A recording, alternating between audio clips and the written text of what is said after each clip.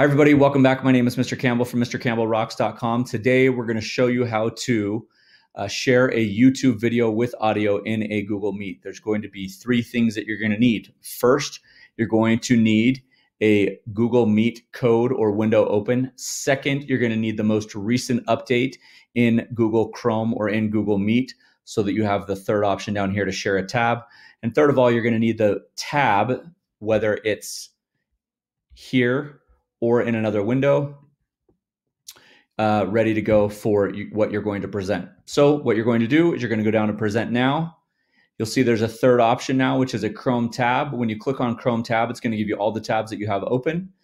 So you'll see here I have two tabs open. I have the one that I'm currently in, and then I have this uh, quarantine stereotypes from Dude Perfect. So when I click on this, I'm going to share that now that will come to the forefront of the window because that's how I'm going to actually control the YouTube video is in that window, not in the Google Meet window.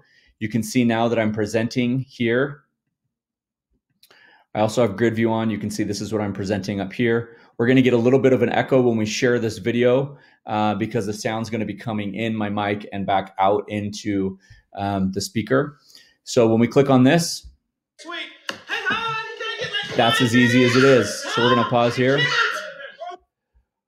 Over here, your students or the audience or the people in your meeting will be listening and watching here.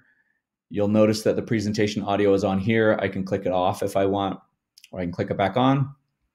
To unpresent or stop presenting, you click on here, click stop presenting, and it'll go back to your regular view. Really, really easy. That's how you share a YouTube video in Google Meet. If this is saving you time, energy, or frustration, go ahead and click on the like and subscribe button. I love you. I appreciate you. And I'm glad that you're here.